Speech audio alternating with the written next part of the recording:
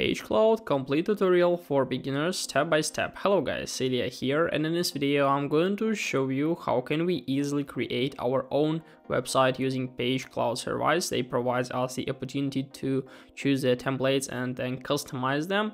So basically it's pretty easy, let's get started. We need to visit our website pagecloud.com and here we are, we can find some information about the features, templates, pricing and blog of course. In order to create an account account, we need to click on create a website and after that we'll come to this page where we need to register using our name, email address and password. I already have an account so I'm going to click on sign in right up here and in a few seconds we'll come to our like home page. In the right top corner we have the opportunity to, to manage our account where we can find the profile settings, billing, referrals and privacy center also with the option to sign out. And on the only one page here we can find our all of our websites. Like we can switch in a different folders e-commerce draft publish and so on. So let's create a new website. To do this we need to click on create new site in the right top corner here. So what are you creating? We need to choose the category we are creating our like uh, website for. So we can click on, basically let it be the e-commerce site, click on continue. And after that, we'll come to this page where we can find a lot of different templates we can use as for our like shop or like blog and some other websites we're going to create. So let's try to find something interesting as for us. I think this one is pretty cool. So we can preview the website to find how does it looks like as like the website. This one looks pretty good. So let's click on select and we'll come to the uh, page of managing. We need to change the name. Let it be like the name of ch our channel, Helperman. Yeah, continue. And uh, basically in a few seconds, our website will be successfully created. Sometimes it could be something went wrong, so we need to wait for a little. Let it be like this. So let's create maybe Helperman 1 so as you can see, it's not that good all time. All the process could lag for a little. So we can try to come back to another page here. So basically let's go back and we'll try to find it right up here on your site. And uh, maybe it was already created. So in a few seconds, we'll preview all of our sites. And yeah, as you can see, it was successfully created, but there was some errors. So let's click on edit to go to edit page and now it looks like this. In the top of the screen we have the option with dashboard, pages, e-commerce, blog, inbox, team shares and settings where we can manage all the pages. We'll go to pages here. Uh, we can find the dashboard with all the information, all the updates and so on.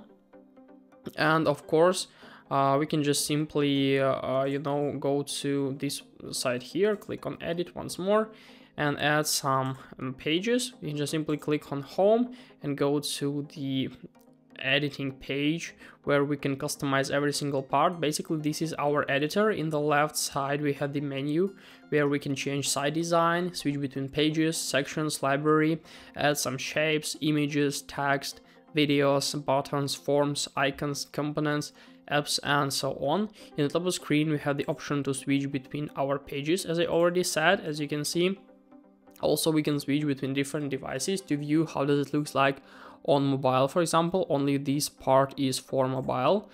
Uh, also, we can undo or redo all of our actions in the right top corner, or we can click on save, and after that, the website will be successfully saved.